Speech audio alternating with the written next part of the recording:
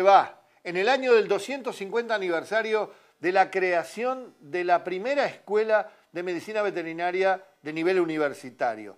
Cumplimos 250 años como profesión universitaria los médicos veterinarios, aunque desde que el mundo es mundo, el hombre y los animales han tenido relación y cuando domesticó a los animales, allí apareció la posibilidad de curarlos y atenderlos a través de las protoprofesiones 250 años atrás a través de la profesión veterinaria. Año Veterinario Mundial y en este Año Veterinario Mundial Mundo Veterinario le muestra un programa donde comienza todo con la raza Terrier Cazador Alemán. Si usted encuentra uno igual, no es un Terrier Cazador Alemán porque hay uno solo en la República Argentina y se lo mostramos aquí en Mundo Veterinario.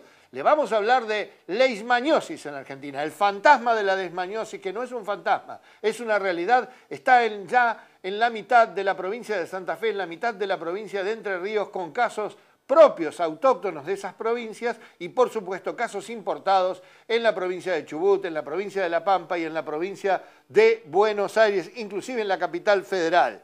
Le voy a mostrar el caso clínico de una leishmaniosis importada en la capital federal, el caso de una perra, Lola, que realmente es interesantísimo para destacar en cuanto a cómo se dio esta patología. Y de un tema tan trascendente, nos vamos a otro que también tiene que ver con la educación y también tiene su trascendencia en función de cambiar la cabeza de nuestra juventud futura, de nuestros hombres del futuro. Los chicos no saben bien en las ciudades qué es un caballo. Decía Oscar Wilde, qué lugar extraño el campo donde los pollos caminan crudos. Más de un chico a veces se plantea dónde se fabrica la leche y cuando uno le muestra una vaca le cuesta relacionar vaca con leche de sachet. Lo cierto es que esto mismo ocurre con el caballo y Pony and Pets, a través de una médica del Hospital Pirovano que lleva adelante este programa, es un programa educativo que merece que usted lo conozca porque tiene que ver con conocer el mundo que nos rodea, el mundo real y no el mundo del plástico o el mundo simplemente de la informática. Por supuesto, nuestro segmento de acuario y ya mismo nos vamos al comienzo de nuestro programa. Terrier cazador alemán, una raza bellísima, un pelo duro espectacular, único en la Argentina para usted.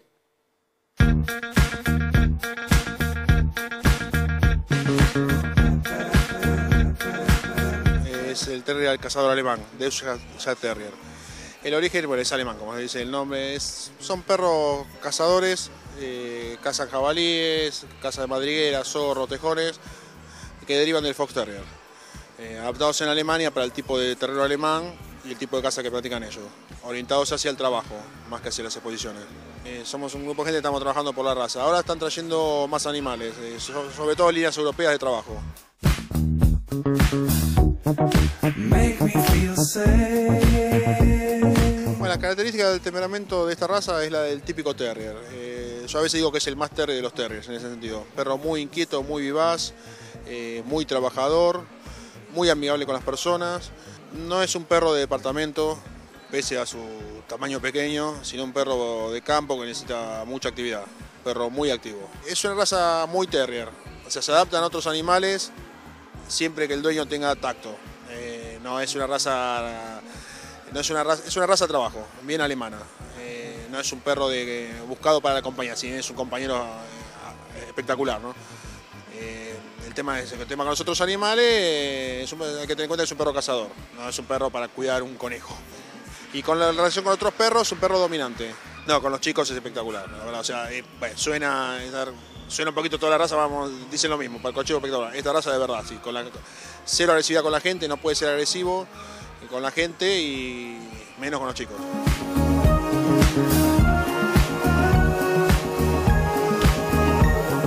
Es un perro que requiere pocos cuidados esta raza, es eh, un cepillado semanal, no, no, necesita, no necesita ningún tipo de grooming complicado, como en otras razas de terrier, por ahí más orientadas hacia las exposiciones. Solo un mantenimiento del pelo, mantenimiento del pelo, cepillado, para mantener digamos, buen estado de pelo, buena salud de la piel. Me encanta, o sea, siempre me, me gustan la raza, me gustaron siempre la raza del grupo 3, los terriers en general. Y por ahí leyendo un poco, un poco, eh, por lo menos que comentaban varios libros, enciclopedias y contacto con gente, gente de Europa, es un poco lo que uno buscaba en un terrier Lo repito también, pero es el terrier más terrier.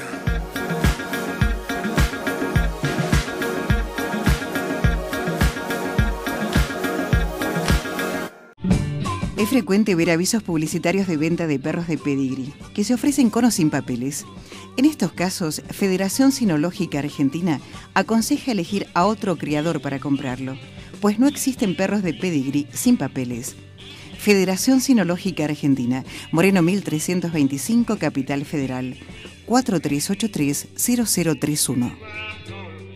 Estamos en problemas. Más problemas. Evítelos. Eduque a su mascota con Paño Pet. Paño Pet atrae a su perro. Práctico, efectivo, higiénico y económico. Paño Pet. Pídalo en su veterinaria de confianza o tienda de mascotas.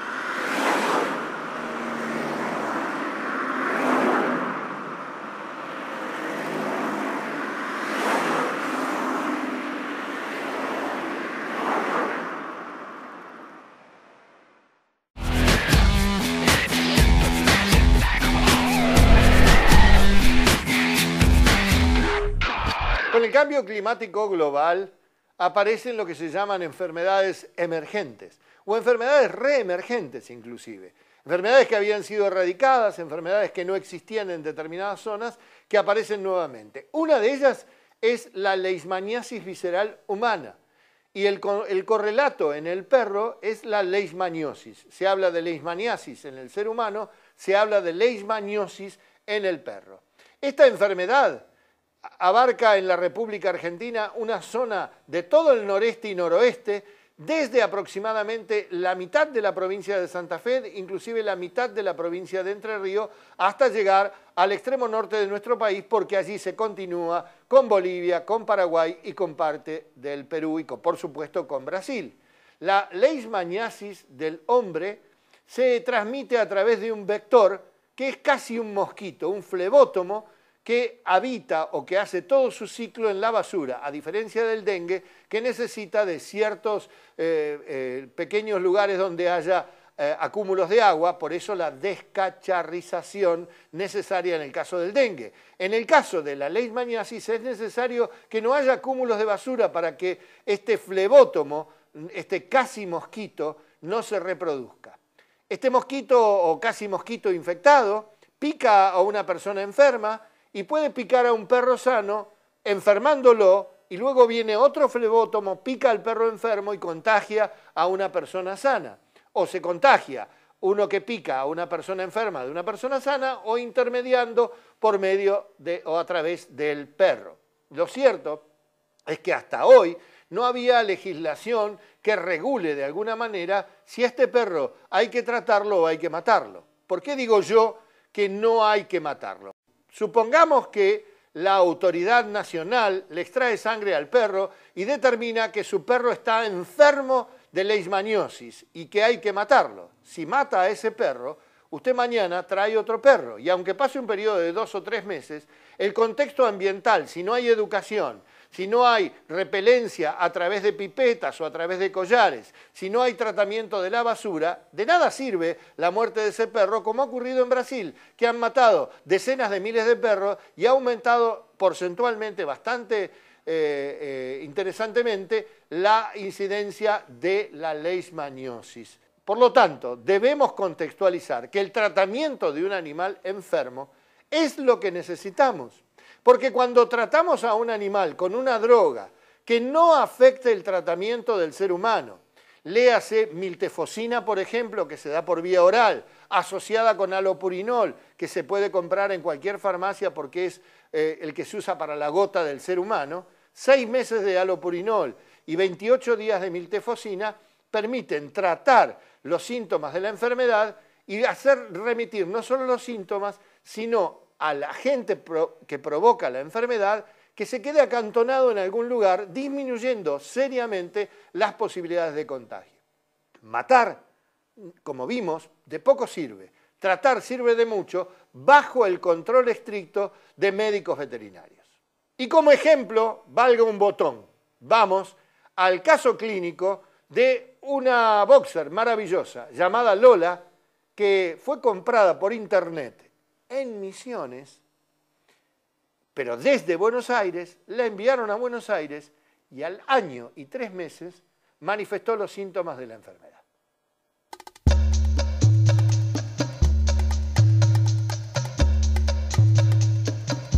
La perra empezó con un, problema de colitis muy raro. A eso se le agregó que empezó a bajar de peso tremendamente. En, un mes bajó más de 3 kilos, eh, dejó de jugar, eh, dejó de comer totalmente y apenas se podía mover. Empezó a tener problemas con las patas, subía dos escalones y se caía. Bueno, el primer diagnóstico era un problema de alergia en la piel. Después me dijeron que era eh, hipotiroidismo. Tuvimos una interconsulta y con un dermatólogo. En esa interconsulta, bueno, salió la conversación que la perrita había sido comprada, había sido traída desde Misiones.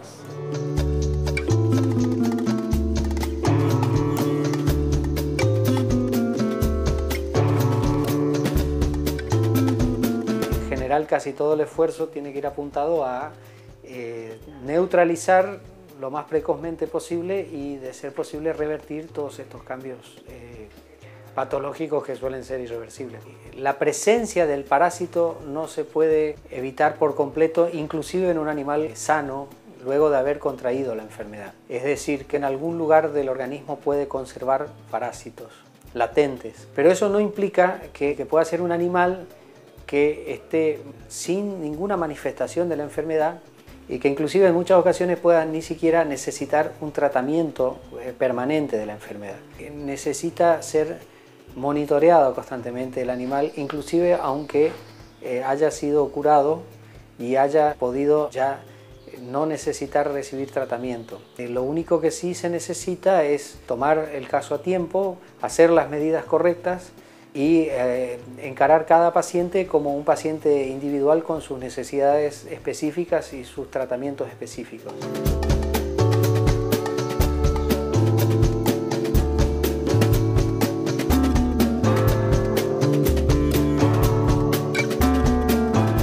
No deje que los mosquitos lleguen a su casa. Pipeta Power Ultra. La pipeta que además de ser ultra pulguicida y garrapaticida, es también ultra repelente de mosquitos, ultra protección contra pulgas, garrapatas y mosquitos. Pasan los años. Cambian nuestros pasatiempos. Que nuestro mejor amigo nunca cambie. Geriox, primer medicamento geriátrico para perros y gatos.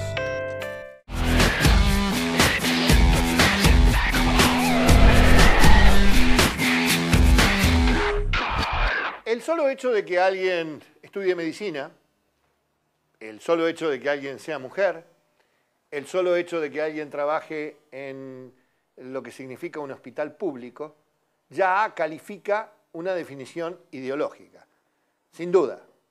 Y encima si uno es feliz y si además uno crea cosas para la promoción de la salud, la salud no es solamente antibióticos, ni es solamente eh, vacunarse. La salud también es tratar de ser feliz y es aprender cosas nuevas, ubicarse mejor en el mundo.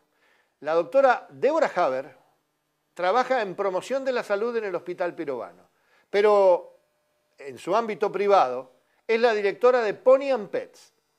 Pony and Pets es un programa educativo que itinera por jardines de infantes, trabajando el conocimiento del mundo de los caballos. Vamos a verla.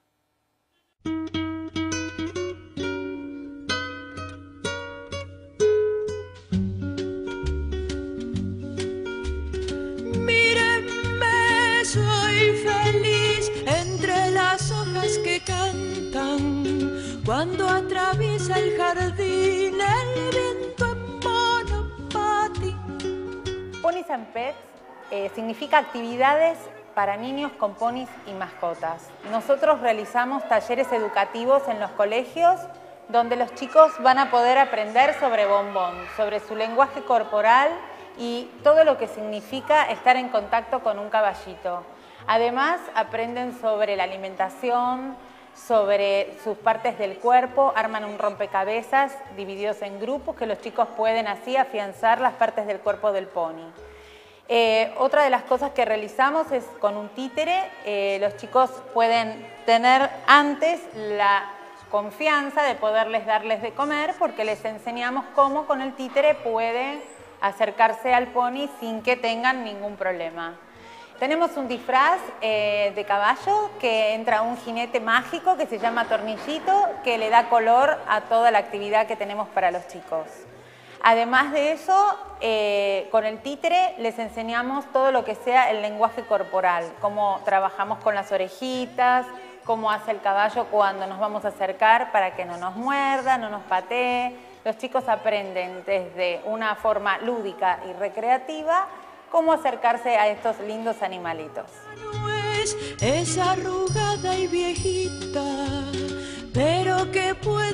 Para las vacaciones de invierno armamos unos talleres educativos eh, que se van a realizar los lunes, miércoles y viernes en las Casorinas Club de Campo es muy cerquita de Pilar del Este.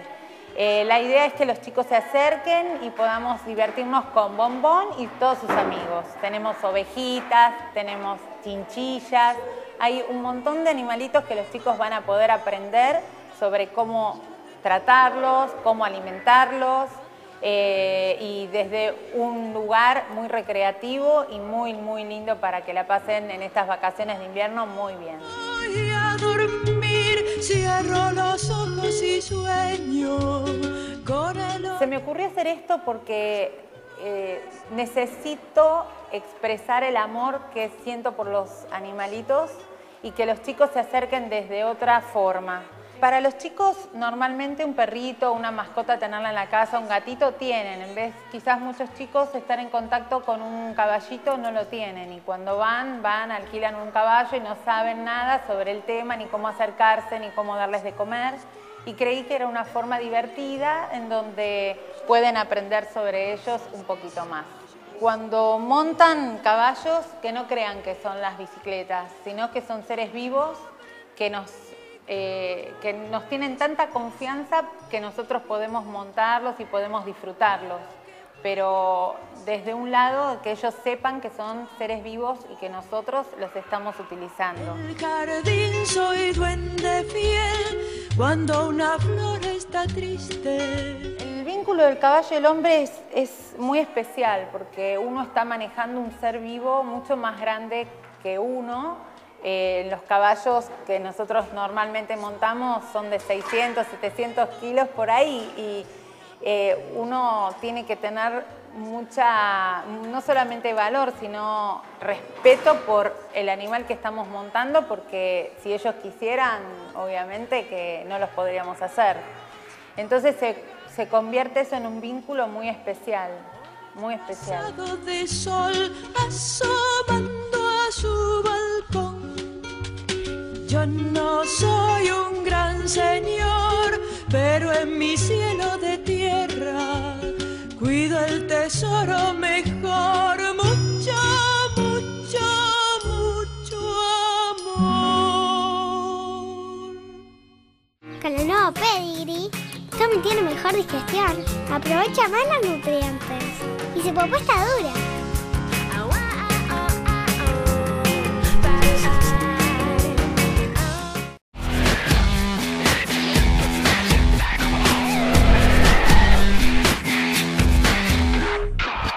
Qué bombón es bombón, ¿eh? qué maravilla. Y vio lo que significa el títere, es una cosa increíble, de una firma norteamericana. Y el traje del jinete, bueno, y la cara de los bebés, la cara de los nenes, entre los cuales está un personaje que me ha copado la vida, que es mi nieta Morena, y que por supuesto estaba ahí en primera fila como corresponde a una nieta que se precie de quien le está hablando.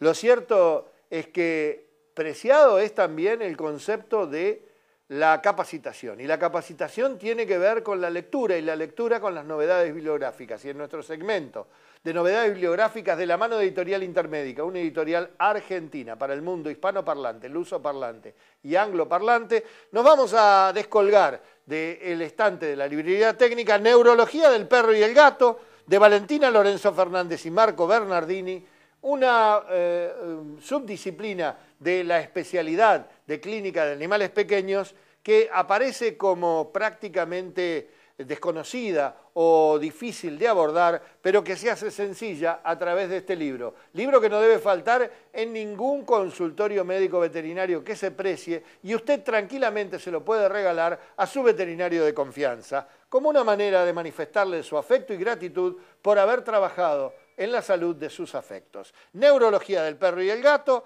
de Valentina Lorenzo Fernández y Marco Bernardini, realmente un logro de editorial intermédica, una editorial argentina para el mundo hispanoparlante, lusoparlante y angloparlante. Y, por supuesto, de nuestra librería técnica y nuestra sección novedades bibliográficas, nos zambullimos en el mundo de nuestro segmento de acuario, auspiciado como corresponde por Schulet, un alimento argentino para el mundo.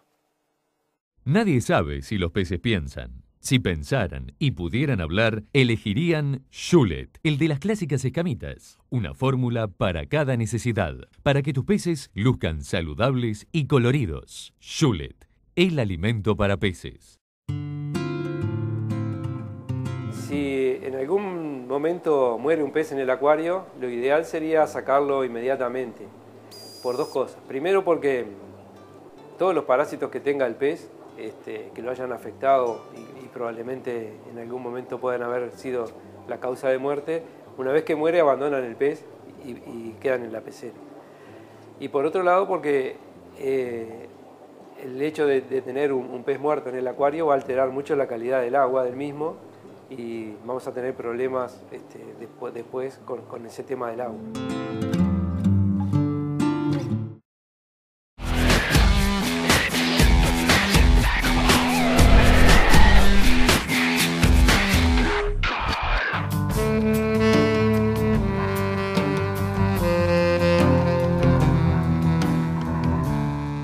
Hablar de cualquier tema de oncología menos de tumores de mama, porque como saben que... Ah, como saben, en Estados Unidos se castra antes del primer celo y las perras no se van a usar para reproducción, así que la incidencia de cáncer de mama en Estados Unidos es cero. Así que para darles una idea, de los 100 pacientes por semana que vemos, vemos unos 5.000 pacientes por año en el servicio, veremos unos 5 o 6 perros o gatos con tumores de mama, que eso es lo que verán ustedes en un día livianito en la clínica, si tienen una clínica atareada. Pero les pregunto, me imagino todos ustedes, levanten la mano, ven perros con insuficiencia renal crónica y gatos con insuficiencia renal crónica, todo el mundo los ve.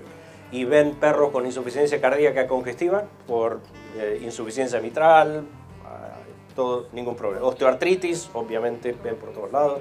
Endocrinopatías, ven perros diabéticos con Cushing y todos ven perros y gatos con cáncer, ningún problema. Cuando entran al consultorio y están hablando con el dueño del gato con insuficiencia renal crónica, corríjame si estoy equivocado. Le dicen, señora, mire, es un problema renal crónico, le vamos a poder dar los fluidos y le vamos a cambiar la dieta y le vamos a dar los antiácidos y le vamos a dar esto y esto y el otro y el gatito va a andar bien y que esto que el otro. Y su lenguaje corporal le va a comunicar a esa familia que realmente vale la pena tratar al perro y al gato porque es una enfermedad que se puede manejar sin ningún problema, ¿de acuerdo? Ahora les entra el perro con cáncer. ¿ok? Ahora, ¿cómo, entran a la clínica? Van atrás, tienen en la salita, tienen el traje negro con la capucha, tienen la hoz, tienen la guadaña y vienen caminando así. Señora, la perrita tiene cáncer.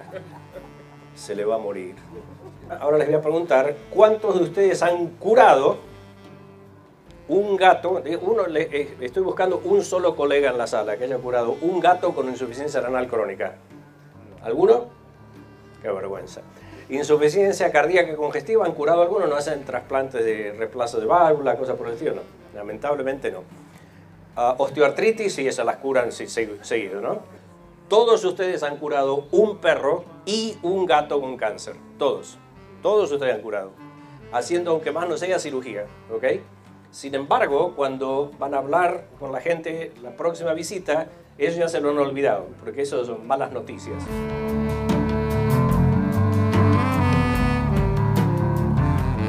Primero no se olviden que los perros y los gatos tienen cáncer tanto como lo- los humanos. Fácil de diagnosticar, su veterinario puede hacer una biopsia o una aspiración por aguja fina.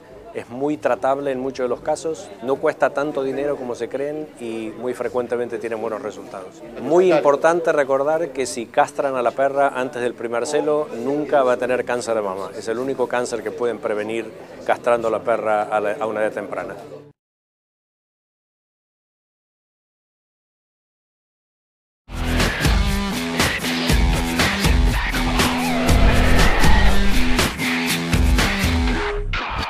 Llegó el momento de la despedida. Gracias por escribirnos, gracias por llamarnos y gracias en serio por entrar a nuestra página web www.drromero12rjuntitas.com.ar www.drromero12rjuntitas.com.ar El albeitar es eh, el proto veterinario. Con el maestro herrador, el menestral, el menegal, el mariscal del mundo germánico son los que llevaban el estandarte de la atención de los animales antes que en 1761 se creara por obra de Claude Bourgelat, un abogado frustrado, la Escuela Real de Veterinaria de Lyon. 4 de agosto de 1761 nació la profesión veterinaria universitaria. Y nosotros le brindamos el homenaje en este 250 aniversario. Por eso, de Albeitar a Albeitar, hasta la semana que viene.